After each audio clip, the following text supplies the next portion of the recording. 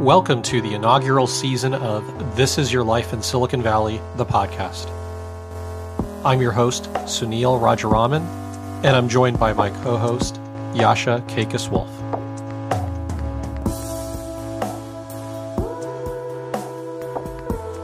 This is the inaugural season of This Is Your Life in Silicon Valley podcast, but what some of our listeners may not know is that the name of the podcast comes from an article that you wrote how many years ago, Sunil, when you were 12?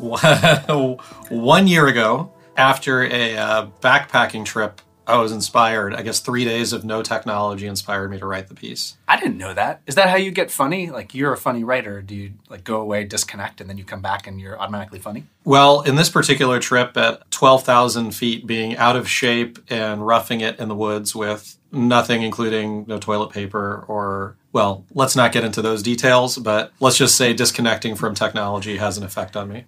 When I read your blog post the first time, there's something about it that resonated for me like one i think it's funny because it's satirical and i can personally relate to it because i live here in the bay area but the second piece is that underneath all that kind of satire there's a little bit of a love letter to the bay area. There's so much kind of fun and weird stuff that's happening here that we can really relate to. I just really appreciated that. Was that something that you were trying to go for? I think the bay area loves to be hated in a way and there is a bit of a reckoning that we're facing right now and maybe while we like the attention we're getting a little bit too much of that attention right now and not so positive a way, but it does read as if it is a love letter to the Bay Area while at the same time is somewhat critical. Well, I think you're right. There's a really deep fascination with the Bay Area. And it's right now, there's a ton of skepticism that's happening that we see play out in the national news, and it's actually happening globally. At no point has the uh, Bay Area been more important, yet more reviled than this period that we're going through right now. And until we figure out and really communicate to the outside world in a way that you know has some EQ associated with it, then the rest of the world is going to continue to be skeptical. And I think what you and I are doing by bringing these guests is, in a way, demystifying what's going on here and perhaps both inviting new skepticism, but sharing that maybe some of the things that we're doing are not so bad and some of them are worse than you think. We've got some awesome guests on this podcast over the first season from CEOs and founders of coffee companies to local experts in the cultural zeitgeist that have had a relationship into local politics to investors to product experts like you name it we run the gambit. It's a really cool group of people. The key here is you know we did not want to have exclusively guests from the technology industry. We do think trends like avocado toast and expensive coffee are things that are happening here right now that you see independent articles written about. We wanted to bring people from a wide range of backgrounds to talk to us. Uh, what's your favorite restaurant to get avocado toast in the Bay Area? There is a restaurant called Avocado Toast in San Mateo that seemingly has no avocado toast in the entire restaurant. It looks as if it's a repurposed Subway. There, seriously, there's an avocado toast restaurant in San Mateo. Yeah, I uh, I don't want to uh, defame the restaurant in any way. Um, I've actually never purchased an item from Avocado Toast, but I'm not much of an avocado toast guy myself. Should we talk about some of our guests? Yeah, we should talk about some of our guests. Uh, James Currier. James is a fascinating guy, and he's backed some of Silicon Valley's most important companies including Lyft. It, it, was great having this discussion about Uber and Lyft with him and hearing his perspective. I, I think that this idea of values and its relationship into Silicon Valley in particular in the Bay Area is a really interesting one. It's and it's hard to find somebody who represents the idea that investors care more about just making money. Like James uh, clearly has been a very successful person, but when you listen to him and what I remember so much about when I first met him is that he is just a genuinely kind, nice, and caring person. He also happens to be a venture capitalist. And sometimes those two things don't come together. A little bit about his background uh, before we get into this interview. James has been an internet entrepreneur for a long time. In 1999, started a pioneering social media company called Tickle, which he sold to Monster. And you know, uh, in your head, you can make your own jokes about Tickle Monster. Uh, but uh, the fact remains that it was at the time a pioneering company. I had never put that together. Tickle Monster, like that's fantastic. The twelve-year-old in me loves that. I, I just I just had to throw it in there. But James is a multiple-time successful entrepreneur, as we said. He he also has started uh, ventures in the gaming world, including a company called Wonderhill, and most recently, James started NFX Guild which is a calendar based program for networks and marketplaces where NFX Guild invests and advises uh, companies that, that are based on everything that James learned from his past companies, which is in businesses created by companies with network effects. And, and the guy is just awesome. Like this is one of my favorite discussions that I've had. Forget about the, just this podcast, but yeah, in this podcast in the last couple of years with an investor. Like he's just a great, great person. I hope you enjoy this interview as much as we had doing it. Thank you for joining us today on This Is Your Life in Silicon Valley, the podcast. What we generally do is we like to start and talk about kind of what got you excited about moving to San Francisco. And the frame that we'd love to hear your story in is talking about kind of where you grew up and maybe not necessarily just where you spent your time, and but maybe some of the more meaningful points in your life where you moved away from where you first were born. So I was born in um, in Oklahoma, but very quickly moved to New Hampshire. So I grew up in New Hampshire, and my parents were teachers. Uh, my dad a French teacher, and my mom a music teacher, and and they were always looking for their intellectual equals, and you know that was some work in New Hampshire, and I could sense that even as a kid. They would pull together these dinner conversations, and I would listen, and, and they would talk for you know three to four hours, and they would stay on the subject. the The semantic in our family was you know geopolitics and Yeah. economics and you know the nature of Homo sapien. Uh, those, and I would I grew up with that, and but there wasn't a lot of that in New Hampshire, and so. Um, later on in life when I when I started a, an internet company in '99 in Boston, we started growing and we couldn't hire, Yeah. so we kind of had to move here. The only place to hire was out here, and so uh, I had known that San Francisco was kind of cooler than Boston, and Boston was no, the number two market, but I'd hoped to sort of make my mark in the number two market and couldn't do that anymore. When you say cooler, do you mean like cooler from a professional perspective or cooler from a like a cultural perspective or what? Cooler like- from a cultural perspective. It was a bigger market. It was ranked number one in all the on all the tech media, and and um, they just had the more interesting companies. Yeah. And the kids just seemed, you know, I was 25 at the time or whatever, and the kids just seemed like they had, were hipper, you know, than we were. We were kind of old fuddy duds, you know, just going along in Boston making you know Yeah. internet switches and stuff like that. So we moved out here, and um, it, it was incredible. It was like coming home. You know, it's it's a mindset. It's a way of thinking. Uh, it's a way of talking. It's it's what subject matters interest you, and everywhere I went, from you know, the early guys here in the in the late '90s, you know, who had also moved from New England. It's like um, you know, Close Encounters of the Third Kind, where everyone gathers around Devil's Tower because they're being called by the aliens. I felt I felt all of us coming from all over the country and the world because of a personality type, Yeah. And that personality type is more open. Yeah. In Boston, people don't share information. In New York, they don't share as much information um, easily and quickly. Yeah. And it was the speed at which people wanted to do things. They, they weren't constrained by the pace of life that academia had taught us for Yeah. our first 21 years, which I think is far too slow. Sometimes if there's a knock on the Bay Area, it's that that kind of openness shows up as very transactional. And that, has that played anything for you, good or bad, having grown up in an environment where your parents kind of helped you see how to hold a conversation about something really important? I have felt a transactional approach, but that's because people are busy doing stuff. Yeah. They're, they're too busy to, to, to waste time. And I kind of appreciate that. On the other hand, I feel a really fierce loyalty. You know, I think that, uh, you know, a friend of mine said it best. He said, you know, we're all very driven and egotistical in, a, in, in an okay way, but we overcome that with fierce loyalty to one another.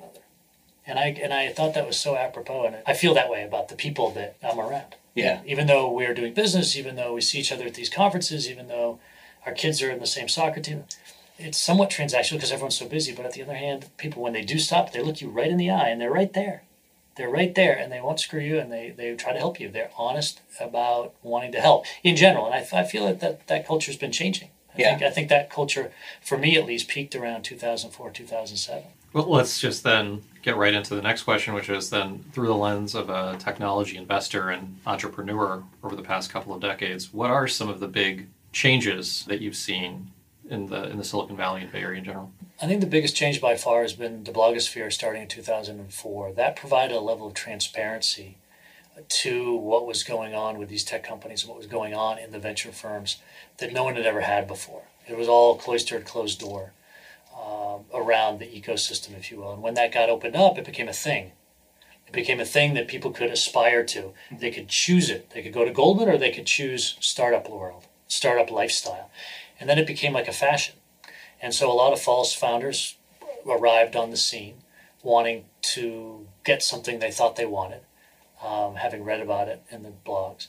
And um, they could very quickly start to talk the talk. But in many cases, it was revealed pretty quickly that they were false founders in the sense that they didn't have to do this. They, they, their backs weren't against the wall. The creative juices weren't so much that their brain was going to explode unless they suffered Yeah. through seven years of this startup stuff to, to make something happen. And uh, and so I think that that has diluted the, the community. I also think that the transparency has created a sense of status envy.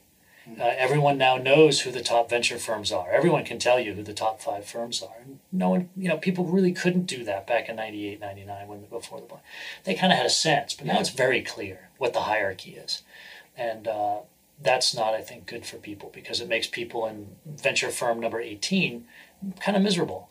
Yeah. Even though they're in the 18th best venture firm in Silicon Valley and they should be, then they're doing great things, they still feel like they're losing.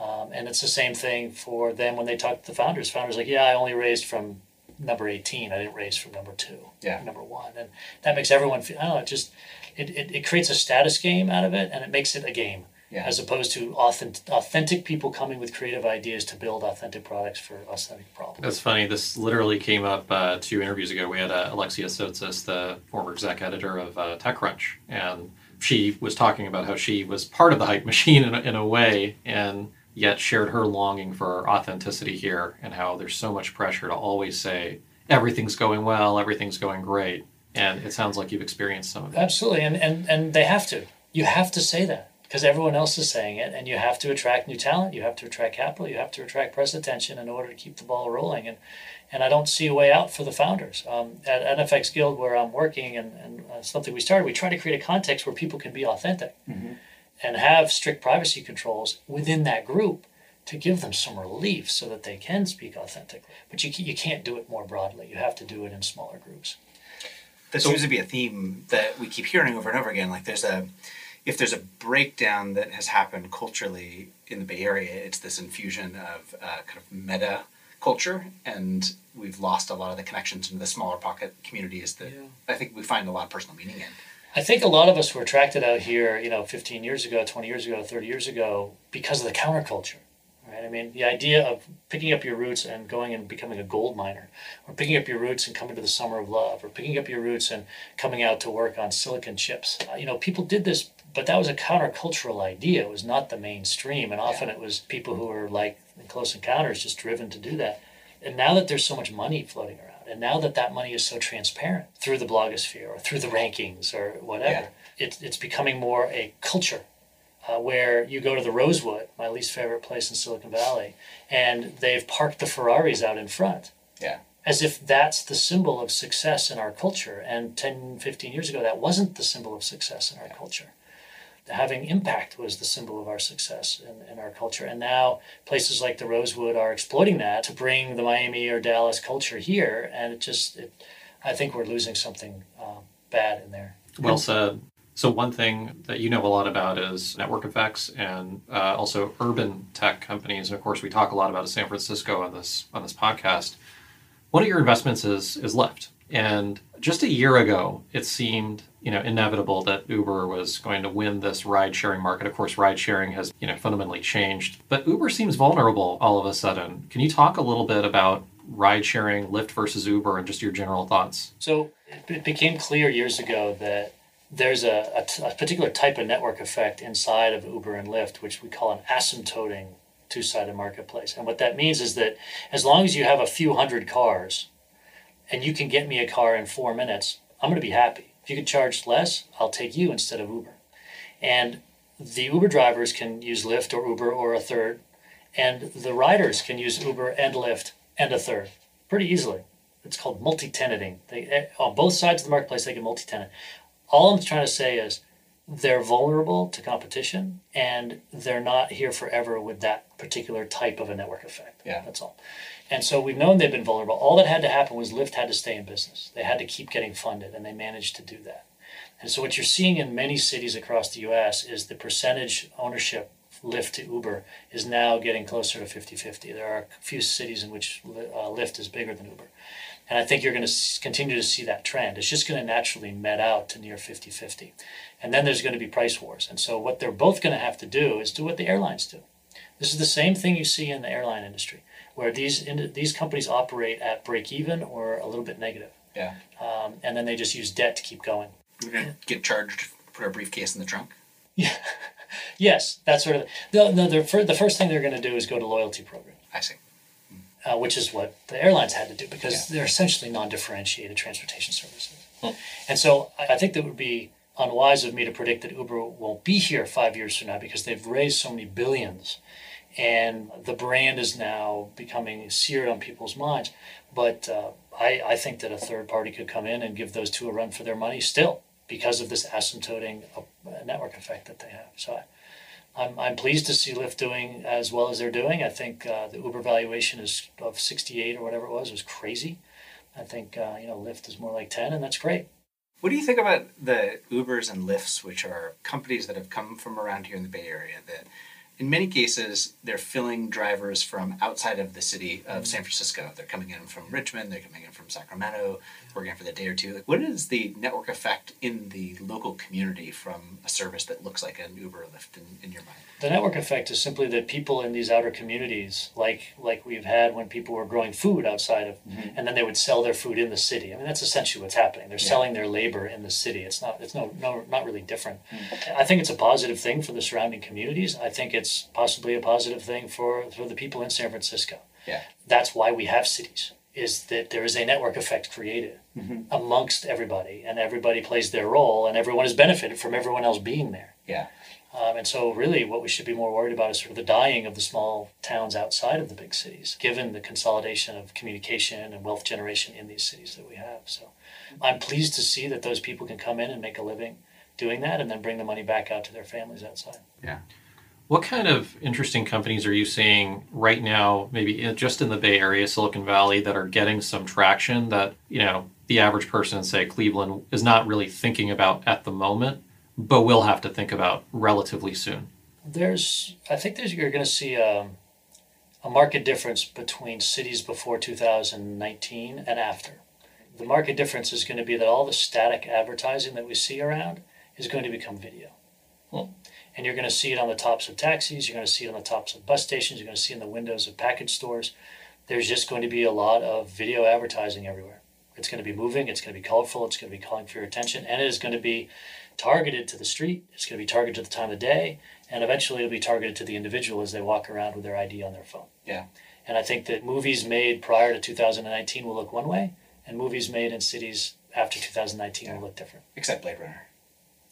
Except Blade Runner, which already looked like that in 1982. Well, and her, and her, her, And was, her, a, her yeah. was a good one. I think that's really fascinating. And Minority Report. Um, I gotta like as a marketer by trade, you're the first person I've heard articulate it that way. But I, I feel like that's absolutely a trend that we're already starting to experience. That like out of home buying. If you're gonna for for listeners that don't know, like if you're buying advertising, if you buy things that are not digital, it's more complicated. Like you've got to work through arcane processes. You've got to get the creative. Let's say you're going to put a billboard up out to a third party. The third party actually has to install it. So that process is very hard, but it's not as expensive as it used to be. And so everybody's trying to apply the techniques that have been learned over the last decade in digital advertising offline. But there's a, a bunch of friction that's showing up. So I appreciate you sharing that. I like that.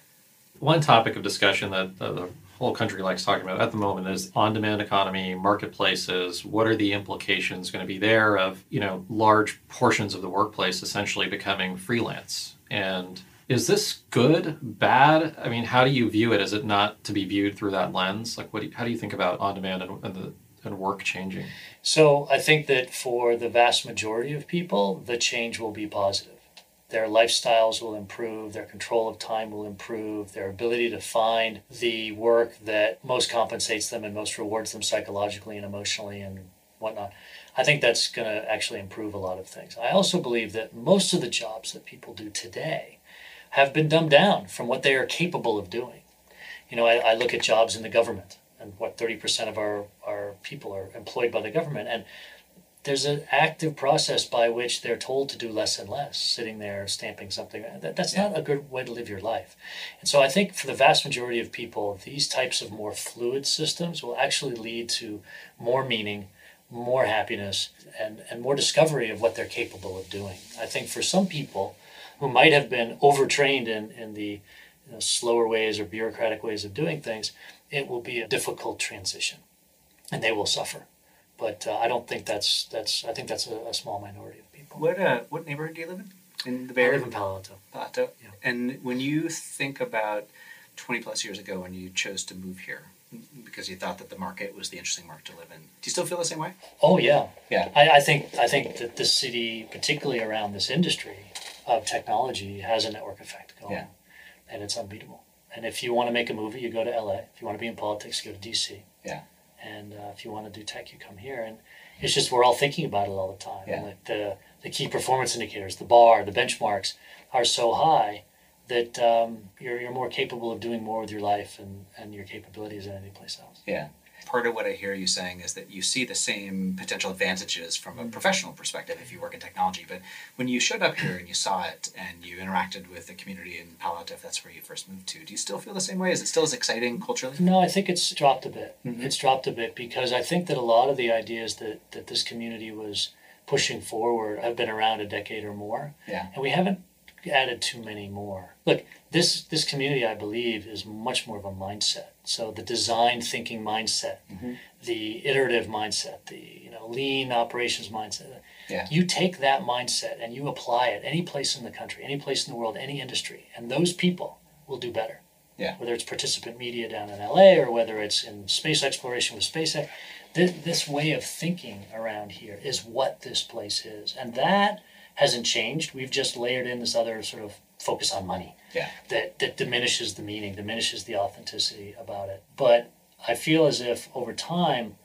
I've learned that I read this wonderful article by a, a fourth generation Californian, and he said that his great grandfather said that it was worse and his father said it was worse for him than it was for his dad, and that he himself was writing as a 40 year old saying it's worse for me than it was for my dad, but it's still the best place in the world. Yeah. It, that's how great it was 80 years ago. And I, and I think that's still true of this community. Yeah. You kind of alluded to this earlier with you know blogosphere, people moving here, uh, idealizing themselves as founders, entrepreneurs. The rest of the world kind of fetishizes Silicon Valley, right? We're seeing shows about it, all, all sorts of things, references in pop culture. How has this affected you, if it has at all? And uh, do you think having this sort of attention is good or bad uh, for for the culture? I, I think it's inevitable and I think it's bad. I think holding up, again, that transparency that we got from the blogosphere, we're now getting again from Silicon Valley, the TV show. And the other attempts to characterize our community have fallen far short, whereas Silicon Valley has absolutely nailed it. And, uh, and I think people seeing themselves uh, leads to a lot of self consciousness and a lot of acting out and acting into a role they feel they're playing. And that's not good for anybody. It's, just, it's the same negative we're getting from Instagram and from Facebook and from whatnot, where the, the, the third eye, if you will. Not, not just you and me talking, Yeah. but there's a third eye watching us. That sense that you're being watched and that I need to take a selfie, that is a diminution of authenticity in a large, to a large extent. And we're seeing that with the TV shows as well. But I think it's inevitable and it's actually probably needed given the level of influence that these companies, due to their network effects, now have on the Yeah. world. they're kind of necessary evils. Uh, these social media platforms, in a way, right? I mean, they, they help you get faster distribution, and And, and it's becoming more important for the world to understand how things are done here as we have more and more influence over how they do things. And up until now, it's been the Wild West, and Zuckerberg was just doing whatever Zuckerberg was doing. And it wasn't a big deal, and now it's a big deal. And so, so the rest of the world uh, does have the right to understand how we think and what we're doing because it affects them so much. what is your view of the large platforms? So you talked a little bit about the blogosphere, but what about Silicon Valley's role in fake news? And do you view Facebook and you know other platforms as culpable in propagating some of this, or how do you think about them? Uh, yeah, I do. I do think that they need to be uh, less hands off. I think that any any medium that is causing people to believe or think things that affect the rest of us needs to have some sort of governance system. Now, my belief is that you know Facebook through and, and Google through algorithms can dramatically improve uh, the situation from what it is now to the point where They don't need to hire 10,000 people to by hand censor things that go through. Right. But um, there's there's various ways of approaching it mathematically, I think, which would be elegant and improve the situation significantly. I haven't built them myself, but I know guys who do build those sorts of things at those firms, and they're fully capable of figuring it out if, if given the license to do so. We hope those guys and girls that are building those algorithms are out there listening um, and are inspired by the discussion today. I, it's hard to believe sometimes how fast a short amount of time goes that we have with you here. I think we could probably have you back for another couple of episodes. This conversation's been so fun. Um, we're at our time, and we want to end on one question that we ask all of our guests, which is, who are you watching or listening to, or what are you watching or listening to on the networks that you spend your time on? What might be most helpful is to mention the the blog The Edge. Yeah. That's the blog where they're talking about a lot of the futuristic science and and technology, which is um, impacting how we li- think and live and how humans derive our meaning and happiness as it relates to technology and, and math and science. Awesome. Thank you very much. Thanks so much for joining us today. We really This was great. appreciate it. It's an awesome conversation. Thank you, guys. Thank you for joining us for today's episode of This Is Your Life in Silicon Valley, the podcast. We are always looking for great topic suggestions and suggestions for future guests. Email us at info at thebolditalic.com if you have suggestions on either. Thanks for spending some of your time today with us, and we hope you enjoy the rest of season one.